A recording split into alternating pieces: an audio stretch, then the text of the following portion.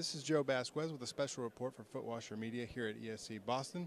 And with me is Duane Benson. He is the marketing manager, director of marketing for Screaming Circuits. for Screaming Circuits. Okay, thanks. Um, tell me a little bit about Screaming Circuits and what it is you guys do. Well, what we do is we assemble prototypes, uh, put the parts on the boards. Um, we specialize in quick turns, small quantities. Our minimum quantity is one board. Our minimum turn time is 24 hours, and we do all of the complex componentry that you're seeing showing up these days 0.4 millimeter pitch BGAs, 0201 passives, QFNs, all the little tiny complex things. Okay, no minimum runs or anything like that? Nope, we, we, uh, we um, one is our minimum.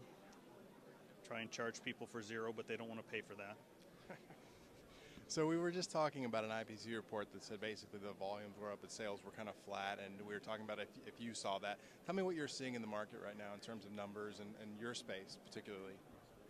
Well, what we're seeing was we've actually seen quite a bit of growth in uh, in the prototype assembly market um, over the last year and this year.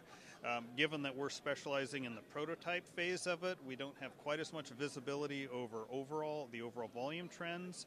But what we do see is a lot of different designs. We saw see a lot of new componentry being used. Uh, you know, I mentioned the the small BGAs and QFNs. Um, that's been causing an awful lot of problems for design engineers because they can't really hand solder those things. Not only can they not hand solder them anymore, but um, the techniques used to uh, uh, to lay the boards out um, are different than what they're used to, and uh, uh so you know they need an awful lot of help. Um, it's more it's a more difficult job for them to do.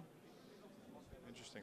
That actually, your answer leads into my final question, which is really fits nicely, and that was I'm going to ask you to kind of put on your future-looking glasses here for a few minutes. If you were to look out maybe two, three years, what do you think is the biggest challenge? You know, we're at the Embedded Systems Conference. You see all these embedded systems and software all around. What do you think is the biggest challenge these guys will be facing in two to three years that maybe they're not facing right now? And this doesn't have to be in your space, just mm-hmm. in general. Well, I think there are two different things. Um, one of them is sort of a general trend in the electronics industry, the hardware development industry, and that is that um, um, for the last several years we've been seeing support staffs shrinking. That's going to continue. It means these engineers are closer and closer to the end product.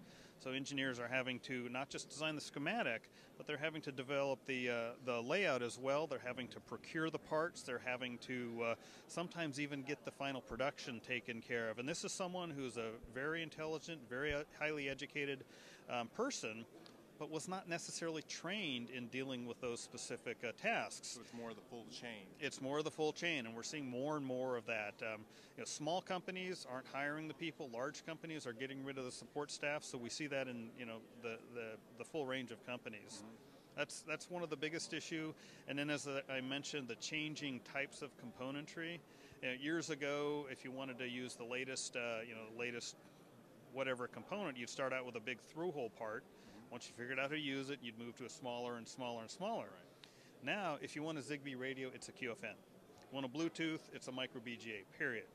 So you can't put off dealing with the small parts anymore. You have you have to start out that way. And again, that's a big problem because there are a whole lot of considerations that you have to have with those small geometries that you don't have to worry about with bigger parts. So if you were to give some advice to somebody maybe just graduating I'm assuming that would be something about learning about the full chain. Uh, learn about the full chain. Um, learn about both layout as well as uh, schematic uh, design. And the third thing, which I didn't really mention, is the proliferation of mixed signal. Learn about analog also. Sure. You can't be just digital, you can't be just analog, learn about both. Great, well, thank you for your time.